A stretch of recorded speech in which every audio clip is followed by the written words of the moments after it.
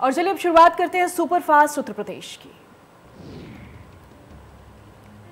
PM Modi ने राष्ट्रपिता महात्मा गांधी को उनकी जन्म जयंती पर विनम्र श्रद्धांजलि दी है। ट्वीट कर लिखा है कि पूज्य बापू का जीवन और आदर्श देश की हर पीढ़ी को कर्तव्य पथ पर चलने के लिए प्रेरित करता रहेगा। साथ ही पीएम मोदी ने ट्वीट कर पूर्व प्रधानमंत्री लाल बहादुर शास्त्री जी को उनकी जयंती पर शत शत नमन किया। उन्होंने कहा कि मूल्यों और सिद्धांतों पर आधारित उनका जीवन देशवासियों के लिए हमेशा प्रेरणा स्रोत बना रहेगा।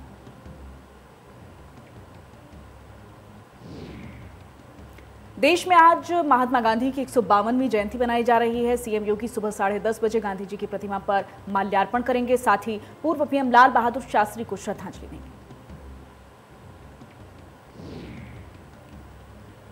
कांग्रेस अध्यक्षा सोनिया गांधी ने राजघाट पहुंचकर बापू को श्रद्धांजलि दी। सीएम अरविंद केजरीवाल और डिप्टी सीएम मनीष सिसोदिया भी पहुँचे राजघाट।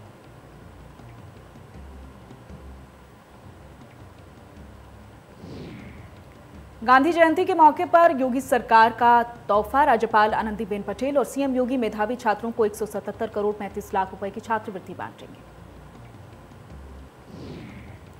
केंद्रीय मंत्री अनुराग ठाकुर का यूपी दौरा। प्रयागराज से स्वच्छ भारत महाअभियान की शुरुआत करेंगे। आज से 31 अक्टूबर तक बीजेपी का स्वच्छ भारत महाअभियान चलेगा।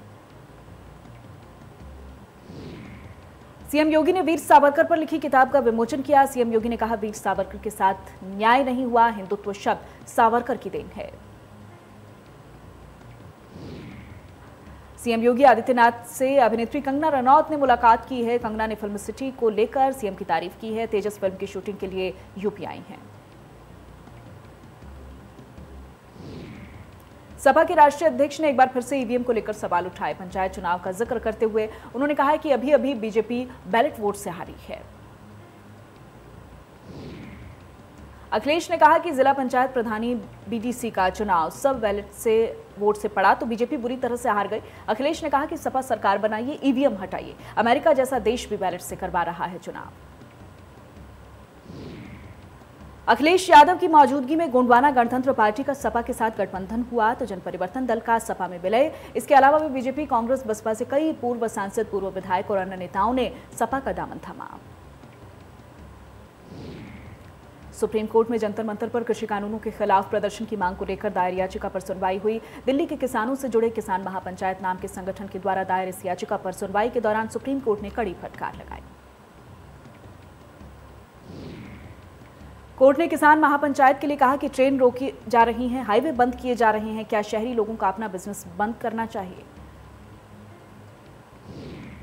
सुप्रीम कोर्ट ने कहा, किसान महापंचायत के कारण पूरा शहर अवरुद्ध हो रहा है और अब शहर के भीतर आकर प्रदर्शन करना चाहते हैं।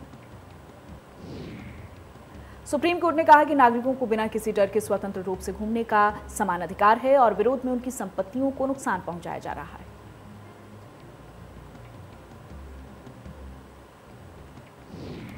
कानपुर के व्यापारी गोरखपुर प्रॉपर्टी डीलर हत्याकांड में पीड़ित परिवार से मिलने के लिए पहुँचे कांग्रेस नेता अजय कुमार लल्लू। पीड़ित परिवार को हर संभव मदद का आश्वासन दिया है। कानपुर में आईएएस इफ्तिखारुद्दीन धर्मांतरण मामला। कानपुर पहुँचे एसआईटी प्रमुख जीएल मीणा ने वायरल वीडियो की जाँच शुरू की। सात दिन के अंदर जाँच पूरी होगी। शामली के कैराना में अवैध पटाखा फैक्ट्री में विस्फोट हुआ है। पटाखा फैक्ट्री में विस्फोट में कई कर्मचारी गंभीर रूप से झुलस गए हैं। चार लोगों की मौके पर दर्दनाक मौत हो गई।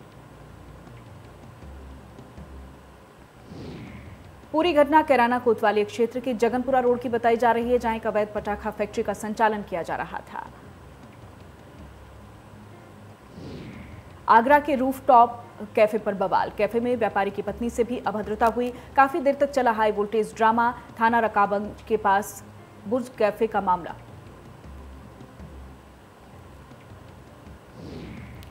आगरा में थाने में शिकायत के बाद भी नहीं मिला। महिला को इंसाफ सरकार से मिले आवास पर दबंगों का कब्जा। महिला को घर से निकालने की धमकी। महिला के साथ दबंगों की मारपीट का वीडियो सामने आया। अमेठी में कृषि विभाग के व्यवहार से परेशान महिला किसान मामले को लेकर महिला किसानों का प्रदर्शन, महिलाओं का आरोप। बीटीएम करता है किसानों से अभद्रता, आरोपी बीटीएम का जामो ब्लॉक से हटाने पर अड़े हैं किसान।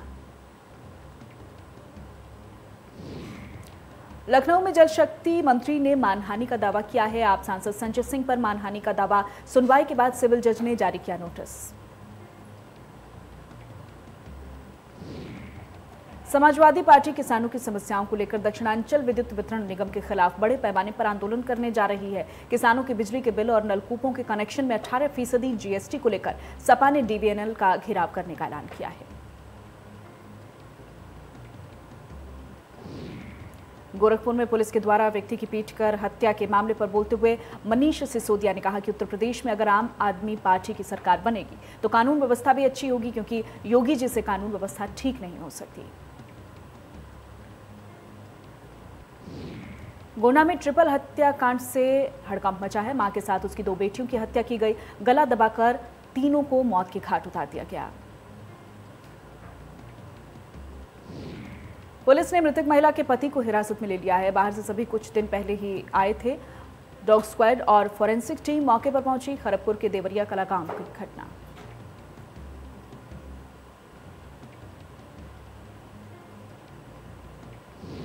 गाजियाबाद में निर्दलीय विधायक अमरमणि त्रिपाठी और उनके पिता अमरमणि त्रिपाठी पर कवि नगर थाने में मुकदमा दर्ज हुआ है।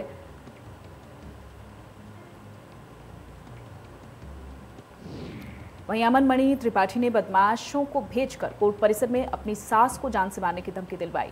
अमनमणि त्रिपाठी पर पत्नी सारा सिंह की हत्या का आरोप है।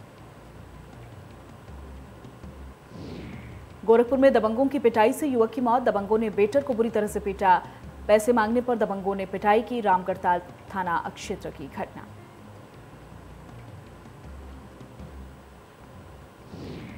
बीएचयू आईआईटी के पूर्व छात्र ने दिया अब तक का सबसे बड़ा डोनेशन छात्रों के लिए खेल से जुड़ी गतिविधि केंद्र की स्थापना के लिए डोनेशन दिया गया। आईआईटी के पूर्व छात्र रमेश श्रीनिवासन ने एक दशमलव तीन मिलियन डॉलर का डोनेशन दिया है। अमेरिका के न्यूयॉर्क में एक मल्टीनेशनल कंपनी के सीईओ हैं। आगरा में कुएँ में गिरे दोनों युवकों को निकालने के लिए रेस्क्यू ऑपरेशन जारी है। कुएँ में जहरीली गैस के चलते मुश्किल हो रही है। तहसील प्रशासन के अधिकारी और पुलिसकर्मी मौके पर मौजूद हैं। नोएडा के थाना सेक्टर उनतालीस में पुलिस और बदमाशों के बीच मुठभेड़ हुई है। मुठभेड़ में दो बदमाश पुलिस की गोली लगने से घायल हो गए। दो बदमाशों को पुलिस ने कॉम्बिंग के बाद गिरफ़्तार कर लिया है। पुलिस ने बदमाशों के कब्जे से एक ऑटो लूटा है। दो अवैध तमंचे दो खोखा कारतूस और दो ज़िंदा कारतूस बरामद किए। पुलिस ने घायलों को इलाज के लिए अस्पताल में भर्ती करवाया। हमीरपुर पुलिस के लिए खुशखबरी है। प्रयागराज जोन में हमीरपुर जिला अव्वल रहा है। पुलिस की सक्रियता के चलते जिला अव्वल रहा। क्राइम कंट्रोल के मामले में हमीरपुर का प्रथम स्थान है। अलीगढ़ के कस्तूरबा गांधी छात्रावास में महिला टीचर पर अश्लील वीडियो बनाने का आरोप लगा है। आरोपी टीचर हंगामे के बाद फरार हो गई। वीडियो वायरल के डर से कई छात्राओं की तबियत बिगड़ गई। एटा शिकोहबाद में एक निजी अस्पताल पर एसडीएम ने छापेमार कार्रवाई की है। कार्रवाई होने पर फर्जी अस्पताल में भगदड़ मच गई। मौके से फरार दो डॉक्टर को पुलिस ने दबोचा है। हमीरपुर में सब्ज़ी के दुकानदारों में जमकर मारपीट हुई है। सब्ज़ी के लेन देन को लेकर एक दूसरे में विवाद हुआ है। दोनों पक्षों के लोगों को गंभीर चोटें आई हैं। पुलिस ने दोनों पक्षों को इलाज के लिए सीएचसी में भर्ती करवा दिया।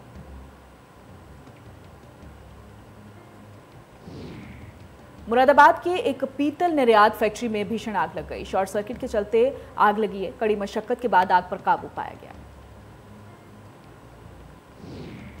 वहीं आग लगने से इलाके में हड़कंप मच गया। आग की चपेट में आने से फैक्ट्री में रखा सामान जलकर राख हो गया। लाखों रुपए के नुकसान की आशंका जताई जा रही है। उत्तर प्रदेश सरकार के द्वारा चलाई जा रही मुख्यमंत्री बाल सेवा योजना अनाथ बच्चों के लिए वरदान बनी है। गोंडा ज़िले के छिहत्तर बच्चों को अब तक तीन किश्तों के माध्यम से नौ लाख बारह हज़ार रुपए की आर्थिक सहायता दी जा चुकी है।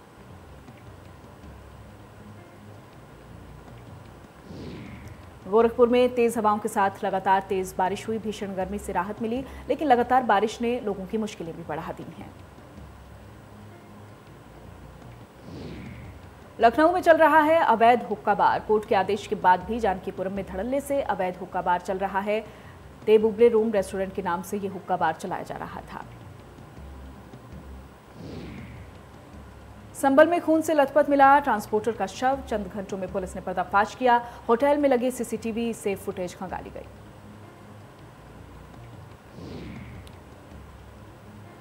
होटल पर रोटी बनाने वाला ही निकला ट्रांसपोर्टर का हत्यारोपी। खाने को लेकर विवाद हुआ था। पुलिस ने हत्यारोपी को गिरफ़्तार कर लिया है। सदर कोतवाली इलाके के शहजादी सराय का मामला है।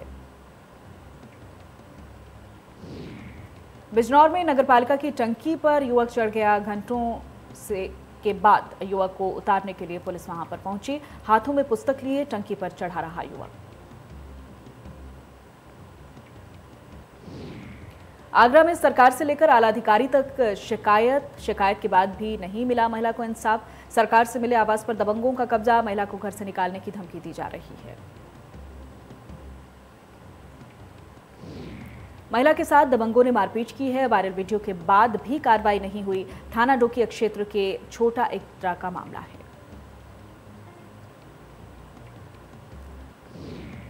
उत्तराखंड दौरे पर रहे रक्षा मंत्री राजनाथ सिंह, वीरचंद्र सिंह गढ़वाली की प्रतिमा का अनावरण किया। बोले, देवभूमि एक वीरभूमि और तपोभूमि भी है।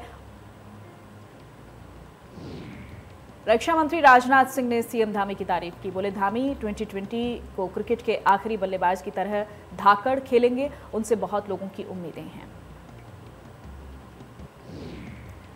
हरिद्वार में फरदाबाद क्राइम ब्रांच के सिपाही की गोली मारकर हत्या की गई। डकैती के मामले में बदमाशों को पकड़ने के लिए टीम आई थी। बदमाशों से मुठभेड़ में हरियाणा पुलिस के कांस्टेबल संदीप की मौत हो गई। रुड़की में छह शातिर टप्पेबाजों को पुलिस ने गिरफ़्तार किया है। सोने चांदी के आभूषण बरामद किए हैं। एसपी देहात प्रमेंदर सिंह डोबाल ने घटना का खुलासा किया है। देश में पिछले 24 घंटे में कोरोना वायरस के सत्ताईस नए मामले सामने आए हैं। अट्ठाईस की रिकवरी हुई है। दो सौ अठहत्तर लोगों की कोरोना से मौत हो गई।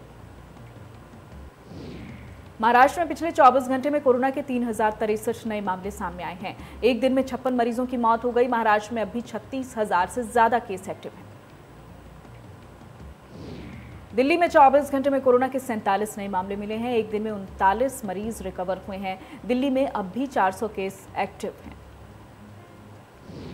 प्रदेश में कम हो रहा कोरोना। पिछले 24 घंटे में कोरोना के नौ नए मामले सामने आए। एक दिन में 15 मरीज़ रिकवर हुए। प्रदेश में एक्टिव केस की संख्या दो सौ बहत्तर है।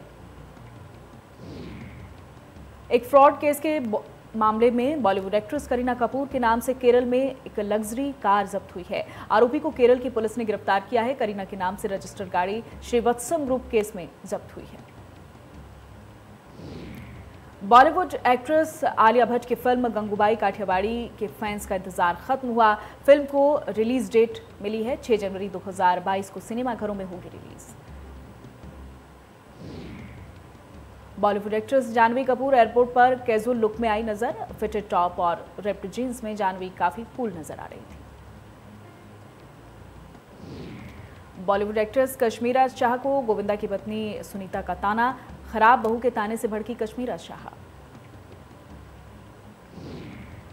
बॉलीवुड एक्ट्रेस दिया मिर्ज़ा को मिला champions of change award Maharashtra governor के हाथों से सम्मान मिला है। पर्यावरण क्षेत्र में उनके अभिन्न योगदान की वजह से ये उपाधि मिली है।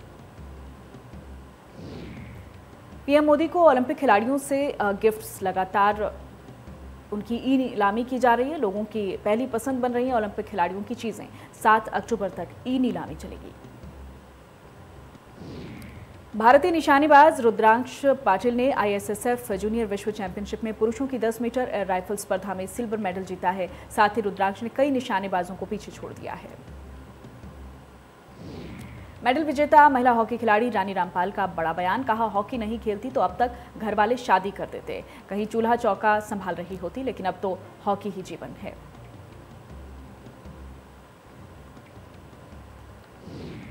भारतीय हॉकी प्लेयर रुपिंदर पाल सिंह ने 30 साल की उम्र में संन्यास ले लिया है। टोक्यो ओलंपिक्स में पदक जीतना बड़ी उपलब्धि और नहीं जीतना चाहिए कुछ।